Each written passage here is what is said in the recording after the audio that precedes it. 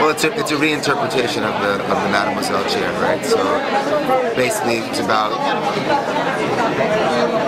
texture and contrast, and uh, basically using my aesthetic to uh, dress these chairs. You know, yeah.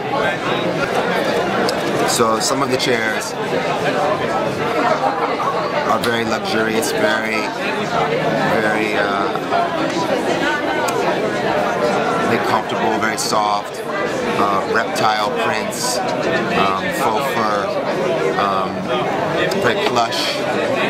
Um, and then there are other ones that are this fabric that look like uh, a woven fabric.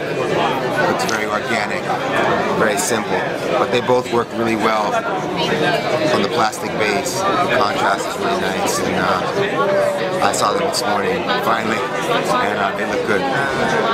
There were things where he definitely said, "Hey, you know, I love this." Um, maybe try and go a little more in this direction. I think at first um, what I presented um, he didn't feel was necessarily rock and roll enough, which is funny, right? Because um, I was going for something else. So I was like, okay. So uh, and we presented the rock and roll chairs, and that was fine.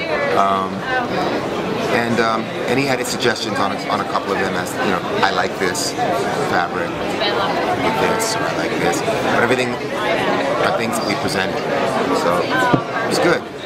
Yeah.